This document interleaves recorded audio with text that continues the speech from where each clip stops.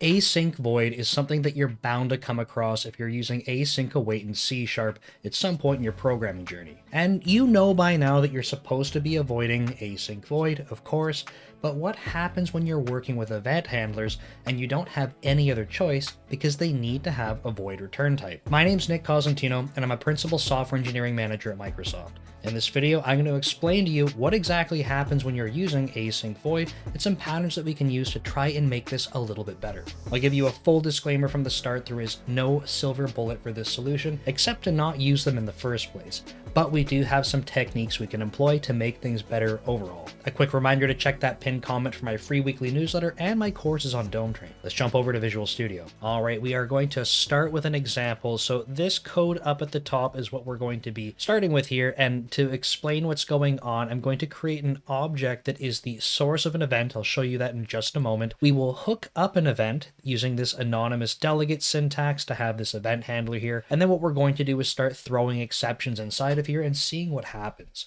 So let's go look at this event source because it's very simple, but you should see what it looks like so you understand what's going on. Truly, all that it is is an event on this object and then a method that we can call from the outside to force it to raise the event for us. And the important thing that we need to note is the syntax for an event handler. If you look at what the IntelliSense is showing currently, it says delegate void, and then it has the type there, object sender, and then a type of event args because it is a generic. But the void part is critical here because in order to hook up an event handler to an event, you must use a void return type. It's the only way that the syntax is going to match what's required for an event. So this class is very simple, just an event that we can raise from the outside. Let's scroll back up and see what else we have going on here. So our event handler is going to use the async void syntax. I just have this commented out because technically you don't need it there. It's implicit, but I did want to show you that it is in fact implicit and is the same thing. But we have the rest of the event handler syntax here. And then inside of this event handler, what we're going to do is have this try catch block. And then we'll look at two different variations where we can await something that is awaitable and then call something that's not awaitable.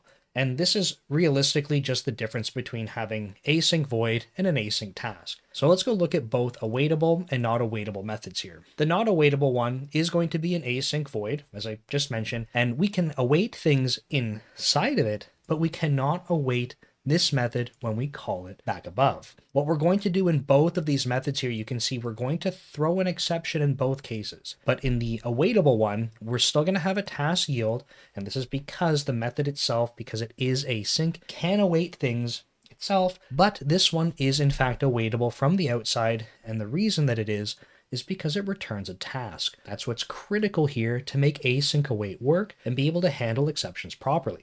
So both of these throw an exception.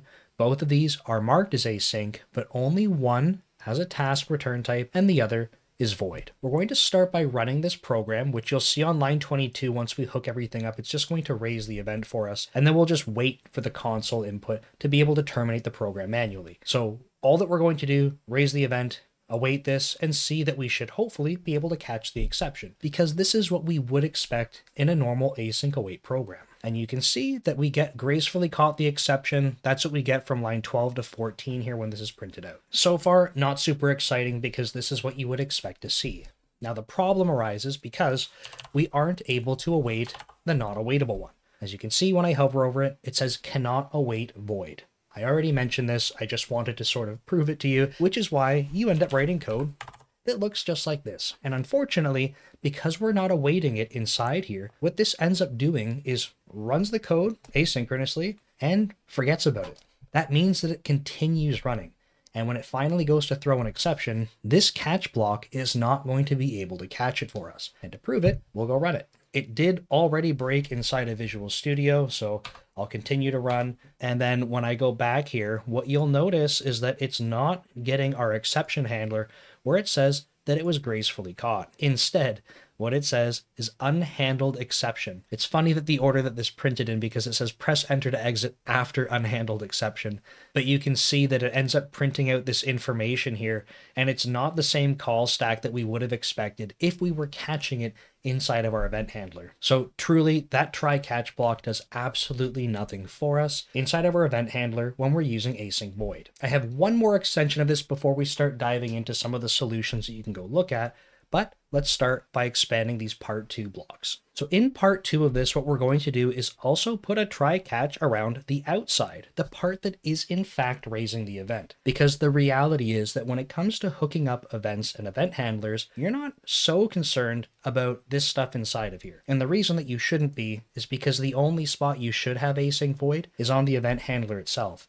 Everything else inside of here you know the drill. You need to be using async tasks. So you should not ever have this stuff inside of your event handler. You should only have this kind of thing. And we saw that before this was working for us. We saw that the try catch would in fact catch this. But what I'm going to do now is I'm going to rethrow that exception. So we're still going to have this get printed to the console. Then we're going to rethrow it. And then we're going to see what happens when it again has this exception cross this async void boundary because this is truly where the problem happens. Once we hit an async void boundary in our call stack, that's where we're not able to be able to catch exceptions properly. So we saw that it worked before, but we're going to rethrow it. And that means if we have a try catch around this raise event, should this be able to catch the exception for us?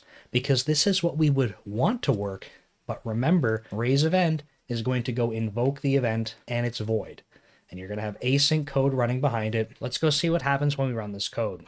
So again, Visual Studio is breaking right away. And if we go check to see what the console output is, there's a lot of noise here. So what's it say? We do get the first one for gracefully caught the exception, right? So that comes from line 12 through 14, and that's inside of our event handler. But then we throw that same exception. So we've caught it, we're going to rethrow it, and we can see that once again we get an unhandled exception. And that means, just like we would have expected, that raising the event here and having the try catch around it is not going to catch exceptions that bubble out of event handlers. This is truly what you need to be worried about when you're dealing with event handlers. So now we've seen some errors being thrown inside of event handlers and how we can try to catch them unless they're async void.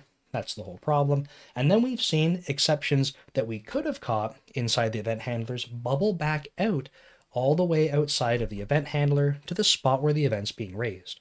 But truly, that's not where we can catch the exception, and in fact, there's no really great spot to catch these things. This all comes back to the fact that we cannot await on async void. So what is the solution that I recommend for this? Okay, I'm going to give you a little bit of my background so you understand where I'm coming from when I tell you this information.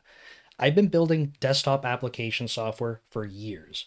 Prior to working at Microsoft, so roughly the past four years, I spent at least eight years in a digital forensic software company building WinForms applications, building WPF applications as my job. Prior to that, I was building these things at startups in my internships over the course of five years. Prior to that, I was building them on my own. It's been well over a decade that I've been using events and event handlers, and then at some point in there, when we got async await, I started using it too. This stuff is an absolute mess. And I feel like there's not a perfect solution for this, which is why I mentioned at the beginning of this video. But what I'm going to show you is already in the code. And I just want to walk through why I think it's the best way, it's the most straightforward, and maybe some other things that you could build on top of this to help you out. Okay, so the ultimate solution that I'm trying to recommend here is literally just making sure that you have a try catch at the top level of your async void method. If you have to use an async void, and you do in the case of event handlers because that's how the syntax works, I urge you to use a try catch at the very top level. Make it the very first thing that you do as part of this. That way, what you can do is ensure that there's no code here and there's no code here that can throw exceptions. The other thing is you don't want any code here that can throw exceptions either. Because like we saw in the examples already, if we bubble exceptions anywhere out of this thing, it can be disastrous for your program. It could have totally unintended side effects, so you need to be careful. And I think personally, the best way that you can guarantee this is with a try catch at the very top level. That means all of the code that you write in here can absolutely throw exceptions. Doesn't matter because you're going to catch them. And yeah, these type of Pokemon gotta catch them all exception handlers, they suck. But this is a perfect opportunity, in my opinion, to use them to not blow up the app. The other reason I'm saying this is because there's going to be someone out there that says, well, you shouldn't catch exceptions if you're not sure what's going on. I get it. If you want to have more specific exception handlers, that's cool. The problem is when these things throw exceptions and you're not catching them, they're going to bubble up somewhere else. They might not crash your application entirely. They will have totally bizarre side effects. I do highly recommend you try to catch all of them here just so that you can do something with them. That's going to lead us to the next point. What the heck is the something else that you do with them? This is something that I cannot give you a solution for because it's going to be very tailored to your application. Whether or not you're using a service, if you're building a UI application, a game, anything else, right? You're going to have different needs for the application you're building. Some things that I would recommend are logging, I think if you have logs and you're leveraging logs in whatever system you're building, this would be a perfect opportunity to try and introduce some type of log that you can say, oh crap, we have something in our call stack on an event handler that could totally brick the application if we didn't have this. So that's number one, logging. Personally, for everything I've ever had to build, logging's been very important. Something else you could do, depending on your application, is telemetry. If you have logging and depending on how your logging works and your access to them, you might not worry about telemetry. But for me, in a lot of the cases I've worked in, even on products that weren't supposed to have internet connectivity, but people would opt in for telemetry, having telemetry to be able to report exceptions like this is super powerful because now you get real time access to things like log information. You can see when this type of stuff is causing problems. So, those are two ideas for things you can do, but I think that you're going to want to consider this in your software design. So, talk with your team if you're working on a team and come up with patterns that you think will help you triage this kind of thing and understand what's going on so that you can go make sure that exceptions aren't actually being thrown. I'm going to give you one more tip before I introduce something that I think could be really cool, but I've not yet tried this, and maybe one of you has. So, we'll come to that in just a moment. But the next tip is going to be about these things being fired off and forgotten about because I did mention that's what's happening. So what we can also consider doing is using a cancellation token source. So yes, having the try catch at the top level is going to be critical for us, but if you're also worried about things maybe not throwing an exception, but running off and taking forever or longer than you're hoping for, again, maybe without throwing an exception, having these things be able to cancel themselves after an expiry period I think could be very valuable. So what we can do is make a new cancellation token source. I'm just calling it CTS. Yes, these are disposable, so put your using block on here as well.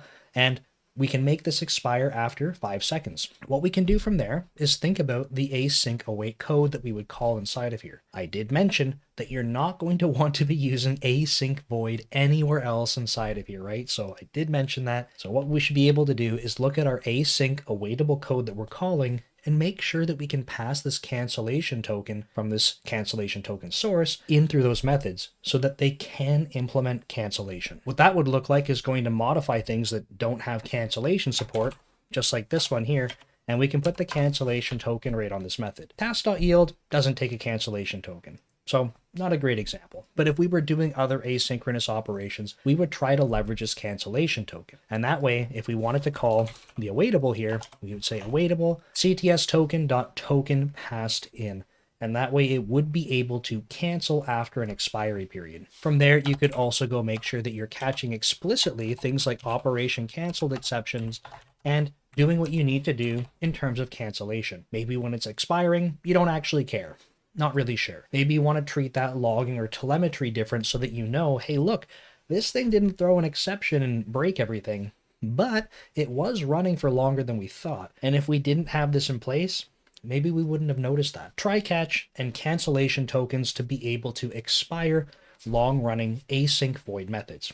I think these are super helpful. But the third thing that I think would be super cool, and if one of you has built this, I would love to hear about it. But I think it would be awesome if someone could implement a Roslyn analyzer that could start enforcing some of these patterns for us. The reason I say this is because I have tried to write code that would try to encapsulate some of what we see on the screen right now, but it still requires that you go use it. And that means that it's super easy. Someone coming into a code base and trying to hook up events, just like they might expect, they don't even know that they need to go use your class with the helper method on it that goes and does this stuff. So I think that's a cool approach, but I think having something like a Roslyn analyzer or maybe some other type of static analysis, if you're familiar with it, would be really cool to implement and leverage. Certainly, if I had a rule like that that I could run from Visual Studio, I would love to use it. And that is going to wrap it up for async event handlers. We got to see exactly how and why async void is a total pain in the butt. Don't use it. If you have to use it because of async event handlers, like we walk through because there's no choice based on the signature, then I highly recommend you have a try catch at the very top level.